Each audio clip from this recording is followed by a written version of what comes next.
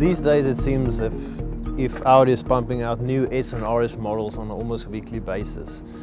This year we've already seen the launch of the S3, the S3 Sportback, as well as a very capable and fast RS7. However, this is a bit of a different car.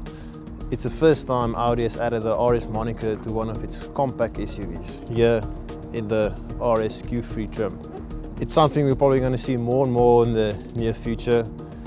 Very sporty and very compact SUVs. This is the business side of the car which you guys are obviously interested in. Underneath the hood there's the 2.5 litre 5-cylinder turbocharged engine that you'll also find in the TT RS.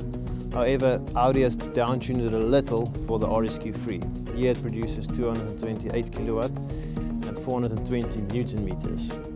But even though it's not as sporty as say for instance the S3, this engine and with this exhaust system and exhaust note, it's got definitely more character than for instance the S3. As with Audi's other RS products, the RSQ3 features the Quattro all-wheel drive system, but owners are unlikely to ever take this vehicle off-road.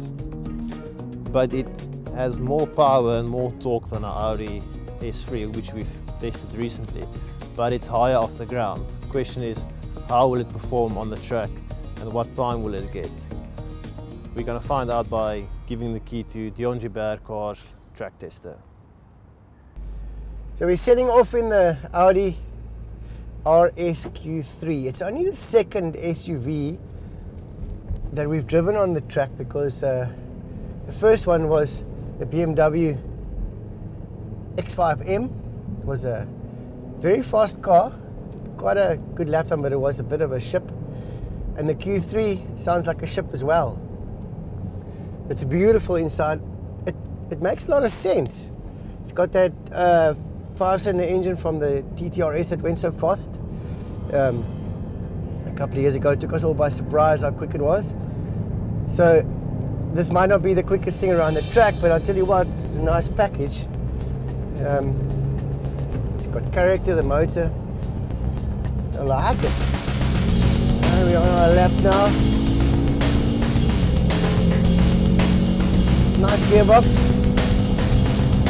See how it stops the brakes can last here on the track.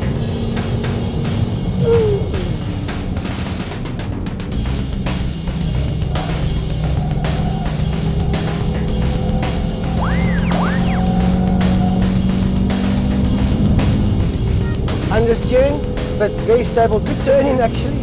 Not too much tire squeal.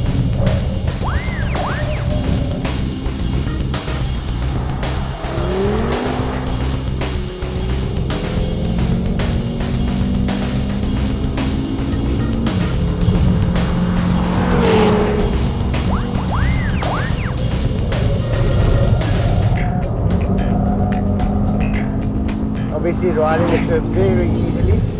Lots and lots of grip. The thing with our cars is you just put your foot down and they pull out of the corner, there's not much fuss. That's why they're so easy to drive in a way.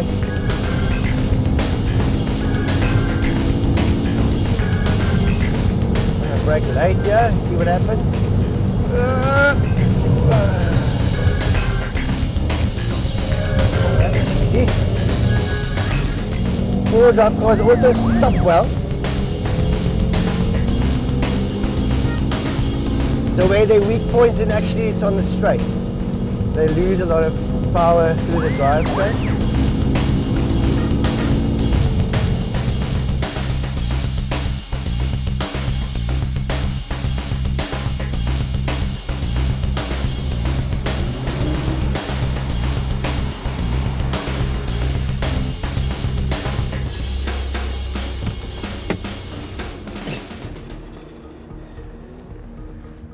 So Deon, we don't often take SUVs around the circuit. No.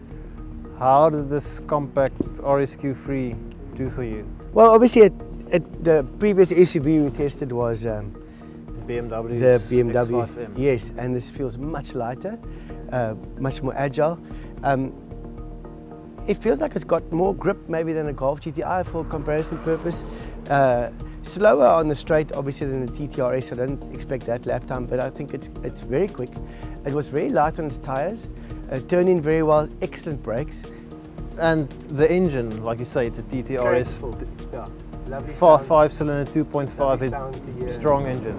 I like it very much. Um, you know, a couple of years ago, you wouldn't have said this was an SUV at all. You wouldn't have thought so. So, Uh, not a sports car, but definitely a sporty SUV. a very- a fantastic car, and a car to use every day from point to point. Very, very quick. Okay, great. Thank you, Deon.